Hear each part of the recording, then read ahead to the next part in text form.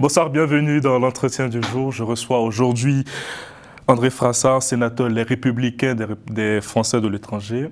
Bonsoir. Bonsoir, merci d'avoir cette invitation. Merci à vous. Euh, vous êtes aussi membre de la section française de l'Assemblée parlementaire de la francophonie. Et vous, euh, vous êtes président délégué du groupe d'amitié France-Gabon. Avec vous, nous parlerons donc de la visite euh, du président de la transition en France la semaine dernière. Vous qui connaissez un peu le pays, est-ce que vous définirez euh, Brice Clotaire Oligui Nguema comme le libérateur du Gabon? Ah, En tout cas, c'est euh, l'image qu'il a donnée et que l'opinion publique gabonaise a tout de suite ressenti après le coup d'État, même si c'en est un. L'opinion publique a tout de suite manifesté une adhésion, ce qui a été, j'allais dire, euh, le résultat immédiat de ce coup d'État, c'est que c'est un coup d'État où il n'y a pas eu de blessés, pas de morts, pas de sang versé, euh, où certes l'ordre constitutionnel a été rompu, net, mais où les autorités de la transition, avec euh, Brice Oligui Nguema, ont tout de suite pris la mesure euh, de ce qu'il fallait faire, c'est-à-dire qu'il fallait envoyer un message clair à la population, c'est-à-dire euh, établir tout de suite euh, des organes de transition pour que la population puisse comprendre qu'on était dans une phase qui n'était pas là pour durer. Justement, est-ce que vous pensez que ce coup d'État était inévitable?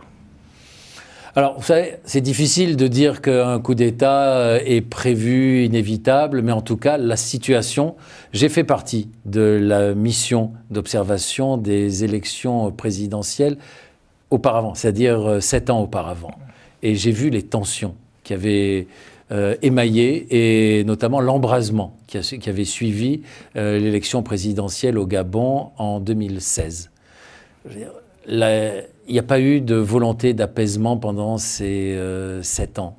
Il y a eu des petits accommodements, mais il n'y a pas eu de véritable volonté de réformer la Constitution, de donner des gages euh, aux différents acteurs politiques, à la société civile.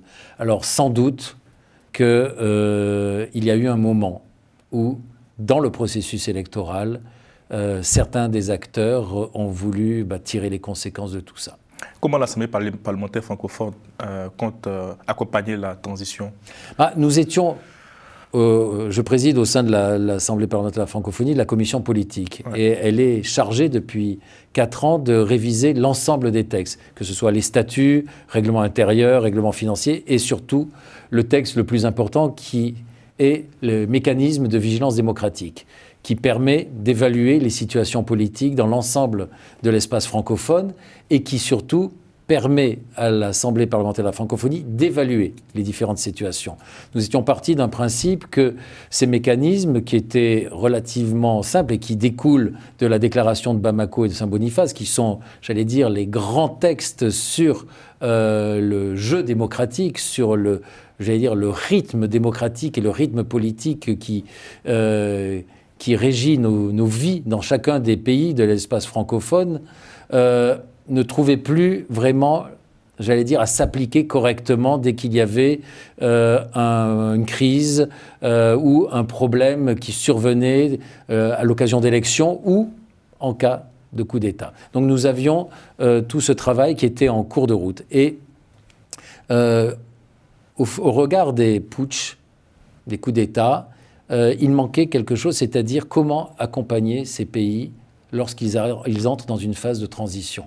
Rien n'était prévu dans ces mécanismes de vigilance démocratique, et c'est ce à quoi nous nous sommes attelés depuis euh, quelques années, et finalement, nous étions peut-être précurseurs de ce qui devait advenir dans certains pays, euh, c'est-à-dire comment accompagner des pays qui, après un putsch, arrivent dans une phase de transition, ou comme le Gabon, qui lui a tout de suite enclenché une phase de transition, ce qui est même assez inédit sur le continent. le chef d'État gabonais a, été, rencontré son homologue français le vendredi 31 euh, mai dernier. Et pensez-vous que cette rencontre était plus que jamais nécessaire? Bah, Vous savez, le dialogue, et c'est un des fondamentaux de la francophonie, c'est ce sur quoi repose la confiance entre les États et surtout la continuité de la relation entre les États. Euh, on ne peut pas avoir de bonnes relations, de relations, j'allais dire, sur le long terme s'il n'y a pas un dialogue. Et c'était, je pense, une visite qui était nécessaire pour déjà faire état de ce que l'autorité de la transition, qui est présidée par euh, le général Oligui Nguema, avait déjà accompli depuis euh, août l'année dernière, et que la France puisse témoigner aussi euh, de son souhait de l'accompagner, parce que, comme, son nom l'indique, comme son étymologie l'indique, la transition n'est pas là pour durer. Et que donc il faut prévoir. Et l'autorité de la transition a déjà annoncé dans son chronogramme euh, sa volonté d'aller vers des, des, élections et de transmettre après, euh, j'allais dire, les instances, c'est-à-dire l'Assemblée, à une Assemblée élue et non plus une Assemblée de transition. Mais sur le continent, on considère que la France euh, joue un double jeu avec d'autres régimes aussi putschistes euh, elle dialogue avec certains et pas d'autres. Qu'est-ce que vous répondez à ces, critiques-là? Elle dialogue avec ceux qui, sont, qui veulent dialoguer. Elle ne dialogue pas avec ceux. C'est la faute des opposants, par exemple, des dirigeants maliens ou burkinabés. Je ne pense pas que ce soit leur faute. C'est que soit ils souhaitent, soit ils ne souhaitent pas. Je vais vous dire, on a, on a, on, a nous-mêmes, au sein de la francophonie, euh, des dialogues avec tous ceux qui veulent dialoguer. Ont été invités à dialoguer avec nous et à présenter les étapes qu'ils avaient successivement franchies dans leur transition, tous les pays qui avaient subi, vécu euh, un coup d'État, que ce soit le Burkina, le Tchad, le Mali, euh, le Burkina, euh, la Guinée, sont venus ceux qui ont voulu. On n'oblige personne. Le dialogue, c'est le, dialogue, c'est sur la base de la volonté de deux personnes. Dialogue. Si les gens ne veulent pas, on ne va pas les obliger. Et je pense que c'est la même chose après dans les relations bilatérales entre la France et ces pays. Et comment Paris doit axer désormais sa collaboration avec Libreville? Quels doivent être les, thèmes, les, euh, les, sujets majeurs de coopération? Bah, Je pense que, là je prends une, autre casquette qui est celle de, président du groupe euh, euh, d'amitié, d'amitié au Sénat entre la France et, et le Gabon. Je pense que c'est renouer j'allais dire, une confiance mutuelle. Une confiance donc au niveau parlementaire en ce qui me concerne.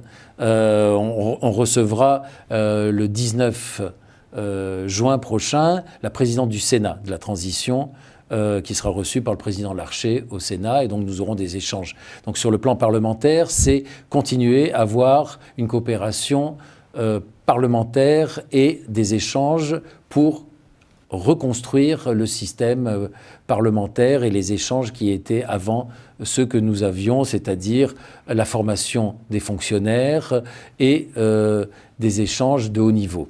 Sur le plan politique, c'est poursuivre les échanges tels que le chef de l'État français et le chef de la transition les ont eus. Et ensuite, c'est euh, réinstaurer et réinstaller la confiance entre les acteurs économiques et avoir une relation qui soit celle de deux États euh, qui, qui, pratiquent des relations tout à fait normales. Le Gabon qui a rejoint il y a quelques années le Commonwealth a-t-il encore sa place au sein de la francophonie? Je pense que je pense qu'on pourrait se poser la question de manière inverse. Je pense que euh, si je ne me trompe pas, le Gabon n'a pas souhaité, le nouveau Gabon, celui de la transition, n'a pas souhaité renouveler ses, euh, ses, cotisations au sein du Commonwealth. Je pense que c'était un mouvement d'humeur euh, de l'ancienne présidence vis-à-vis de la France, alors que le Gabon n'avait pas pour autant de relations diplomatiques avec le Royaume-Uni. Vous avez été surpris de ce choix? Bah, on est toujours surpris qu'un pays qui n'a pas de tradition anglo-saxonne euh, adhère à, à, un ensemble géopolitique et culturel euh, auquel il n'appartient pas naturellement. Mais j'en ai surtout tiré une conséquence, c'est que et la francophonie en premier lieu et la France accessoirement doivent apporter une réflexion plus importante en termes d'offres, c'est-à-dire question sur la mobilité au sein de l'espace francophone, euh, en, euh, en, termes d'échanges euh, économique au sein de l'espace francophone, chose que le Commonwealth aujourd'hui a énormément développé entre ses membres et qui reste, hélas, à mon grand regret, extrêmement embryonnaire au sein de l'espace francophone. Et parlant de mobilité, est-ce que vous invitez la diaspora gabonaise, comme le président euh, l'a fait ce, week-end, à rentrer au pays pour investir? Bah, Vous savez, je suis sénateur des Français de l'étranger. Donc, euh, en termes d'expatriés, c'est un peu mon cœur de métier. Et j'ai toujours considéré que euh, aller à travers le monde, c'était un enrichissement, mais en faire profiter son pays était aussi l'autre partie de cet enrichissement. Donc, euh, on ne doit pas quitter son pays parce qu'on le quitte à regret. Et donc, je pense que c'était le message du président Oligui Nguema, c'est-à-dire que les Gabonais qui sont à l'étranger sont une richesse pour le Gabon, et il arrive un moment où il est un moment où ils doivent aussi en faire profiter leur propre pays. Rapidement, vous êtes également vice-président de la commission des lois constitutionnelles au Sénat, et le mouvement loyaliste modéré hein, de, en Nouvelle-Calédonie a demandé mardi au chef de l'État de lever toute ambiguïté de mettre officiellement fin à la procédure du de, projet de réforme constitutionnelle qui acte le dégel du corps électoral. À ce point, il faut maintenir le texte, il faut tout simplement le retirer. Bah, moi, ce que je pense, c'est que euh, les Calédoniens, dans leur ensemble, je veux dire, quand je dis les Calédoniens, c'est aussi bien les Caldoches que les, que les, Kanaks, c'est-à-dire tout l'ensemble euh, des Français qui vivent euh, en, en Calédonie doivent se mettre autour d'une table et trouver eux-mêmes la solution.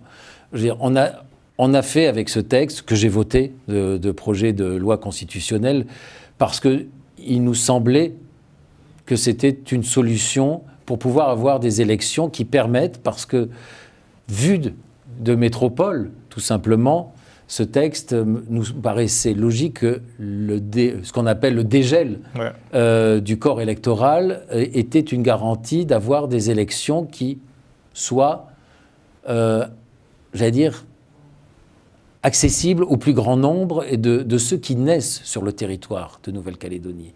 Si aujourd'hui ce n'est pas encore la bonne solution, il faut que ce soit les Calédoniens qui trouvent la solution mais en tout cas pas ce que j'ai entendu comme de propositions euh, qu'a faites le président de la République euh, d'un référendum national. Donc à mon sens, ce serait... Donc il faut, mettre, il faut maintenir le projet de loi constitutionnelle, il faut convoquer le Congrès au plus vite. Non, je ne pense pas que ce soit ça, mais en tout cas qu'on ait une solution qui vienne des Calédoniens, qu'ils proposent, eux, une solution. Merci beaucoup, monsieur le sénateur. Merci, à, vous. à vous, chers téléspectateurs, et à très bientôt pour un nouveau numéro sur Global Africa Télé Sud.